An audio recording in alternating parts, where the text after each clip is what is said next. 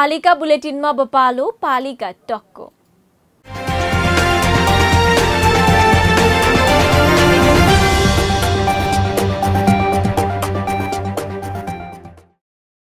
आजको पालिका टकमा हामी जोड्दैछौँ भक्तपुरको मध्यपुर ठिमी नगरपालिकाका प्रमुख मदन सुन्दर श्रेष्ठलाई।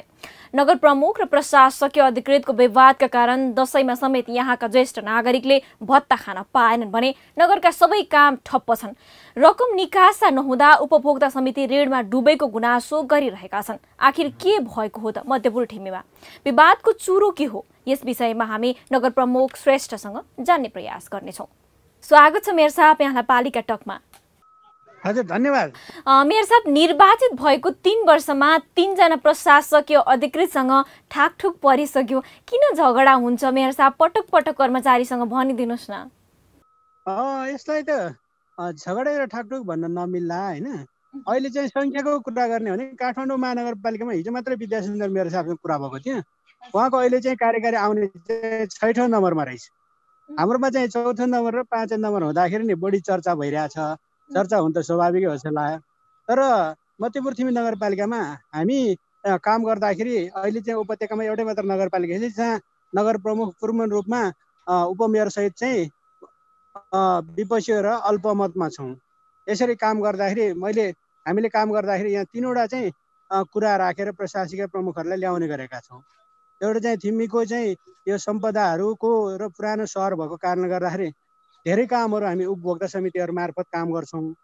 अनि उपभोक्ता समितिले गरेका कामहरू क्वालिटी र क्वान्टिटीमा चाहिँ जति पटक चाहिँ परीक्षण चेक गर्दा नि हुन्छ अनुगमन गर्दा हुन्छ तर भुक्तानीको बेला र निकासको बेलामा चाहिँ दुःख दिन पाइँदैन भनेर ल्याएका हुन्छौँ।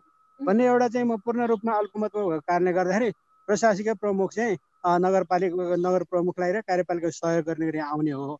आन्तरिक राजनीतिमा चाहिँ चोचो मोचो मिलाउने र आन्तरिक राजनीतिमा चाहिँ सहभागी हुन पाइँदैन भनेर ल्याएका हुन्छौँ। मेयर साहब वर्तमान प्रमुखलाई हटाउन खोज्नुभयो तर तपाईँ निर्वाचित भएको पार्टीभित्रका नगर सदस्यले साथ दिएनन्। तपाईँले मन्त्रालयमा फिर्ता पठाउन निर्णय गरेको भन्नुभयो। एकमत निर्णय त होइन रहेछ नि होइन यो? ए त्यसो होइन। हिजो मात्रै चाहिँ सूचना अलिकति चाहिँ यो भ्रमहरू सिर्जना गरिरहेछ। अहिले हामी उन्नाइसजनाको कार्यपालिका छौँ। कार्यपालिकामा चाहिँ नौवटा वडा छन्। नौवटा वडा अध्यक्षमा चाहिँ सातजना वडा अध्यक्ष र नगर प्रमुखले गरेर हामी चाहिँ जम्मा उन्नाइसजना मध्ये चाहिँ एघारजनाले चाहिँ पूर्ण रूपमा चाहिँ सहमत हुँदै चाहिँ निर्णय गरेर पठाइएको छ मेयर साहब त्यो पनि ठिक छ। तपाईँलाई अधिकृत चित्त बुझेन तर प्रशासकीय अधिकृत फिर्ता पठाउने अधिकार नगरलाई छ र भने? अहिले यो छ नि अब हामी सङ्घीयतामा छौँ सङ्घीयताको चाहिँ ट्रान्जिसन फेजमा छौँ। पहिले चाहिँ स्थानीय निकायहरू हुँदाखेरि त्यो के हो थाहा भएन। अहिले हामी आफै सरकार छौँ स्थानीय सरकार भनिरहेछौँ। स्थानीय सरकारको अनुसार चाहिँ हामी अभ्यास गरिरहेछौँ। स्थानीय सरकार सञ्चालन ऐनमा के पास देखिरहेछ ती कुराहरू नै हेरेका छौँ कहाँ नलेखेका कुराहरू पनि गर्न नमिल्ने भनेर नलेखेका कुराहरू बाहेक चाहिँ हामी सबै कुराहरू गर्ने अधिकार छ भन्ने कुराहरू छन्। मुख्य रूपमा कर्मचारीहरू आउने भनेको नगरपालिकालाई नगरलाई चाहिँ विकास निर्माण गरेर नगरपालिका नगरलाई सहयोग गर्नेका लागि हो। विगतमा चाहिँ जुन रूपमा चाहिँ कार्यकारी अधिकृत भएर बसेका कर्मचारीहरू छन् नि उनीहरूको ह्याङओभर चाहिँ आफै मेयर हो र हामी विगतमा कार्यकारी भएर चलाएको अनुसार हो। अहिले चाहिँ मेयरले चाहिँ हामीले घुमाउने हो भन्ने किसिमका विगतको जुन मानसिकता छ नि यसलाई चाहिँ छिर्न गाह्रो भइराखेको हो। त्यसैले चाहिँ नगर प्रमुखसँग र नगरपालिकासँग सहकार्य गर्न नसिकिसकेपछि चाहिँ एक वचन भन्दाखेरि सहज रूपमा फिर्ता हुनुपर्ने हो।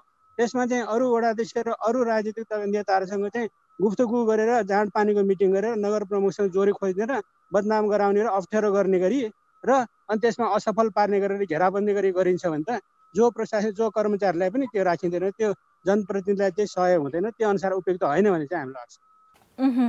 मेयर साहब तपाईँहरू विवाद गर्नुहुन्छ भित्र अनि ज्येष्ठ नागरिकले दसैँमा भत्ता समेत नपाउने उपभोक्ता समितिलाई विकास निर्माणका काममा भुक्तानी गर्न नसक्ने अवस्था छ कसरी समाधान गर्नुहुन्छ यस्ता समस्या चाहिँ? यो त छेनेको हो। धेरै रूपमा यो कर्मचारीहरूले चाहिँ विगतको रूपमा यसै कर्मचारीले ठेगा जस्तो गरेर जुन परिपालन गरेर विगतमा पठाइएका तपाईँले भनेका कर्मचारीहरू छन् नि प्रशासकहरू प्रशासकीय प्रमुखहरू अहिले मध्यपुर चिमी नगरमा चाहिँ नगर बनाउने प्रशासकीय प्रमुख चाहिँ कोही छैनन्।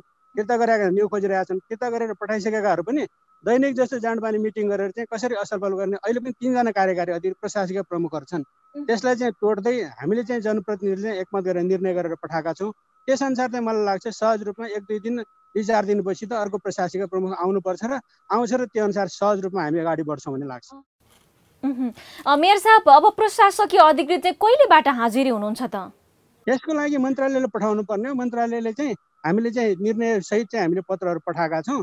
कार्यपालिकाको निर्णयसहित चाहिँ बहुमतको निर्णयसहित पठाएका छौँ। विगतमा चाहिँ नगर प्रमुखले मात्रै जाँदाखेरि किन जाने भनेर लिडे टिपी गरिरहेको थियो। अहिले कार्यपालिकाको बहुमतबाटै पठाइसकेपछि पनि अर्को केही बाहना त खोज्ला।